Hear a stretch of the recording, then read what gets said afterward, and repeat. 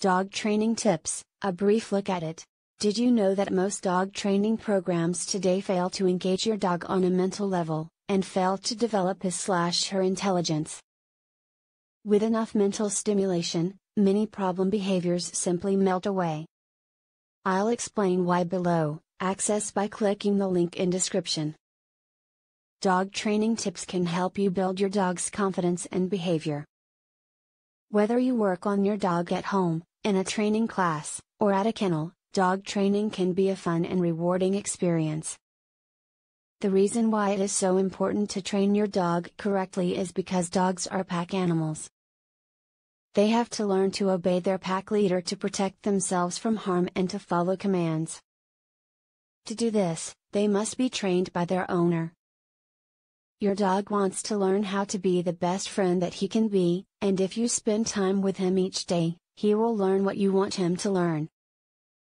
One of the dog training tips that you must follow is to keep things simple and consistent. Dogs don't like change very well. In fact, dogs are the easiest animals to get frustrated with. So when you begin a new training method, it is best to start slowly and make sure that you communicate and reinforce your dog's behavior in the right manner.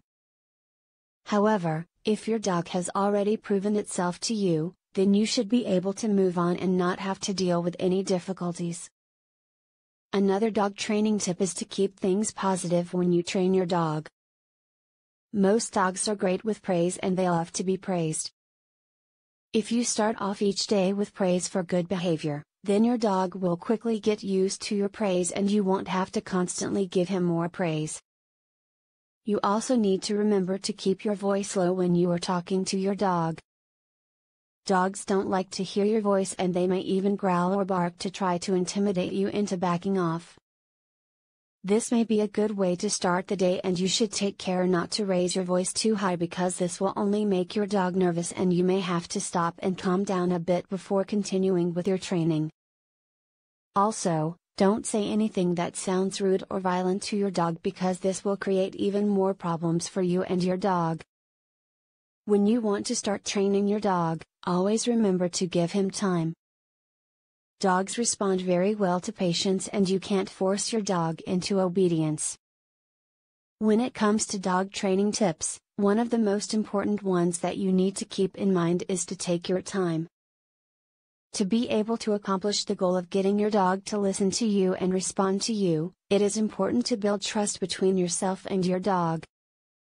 If you follow all of these dog training tips, you should be able to make your dog's training easier and enjoyable.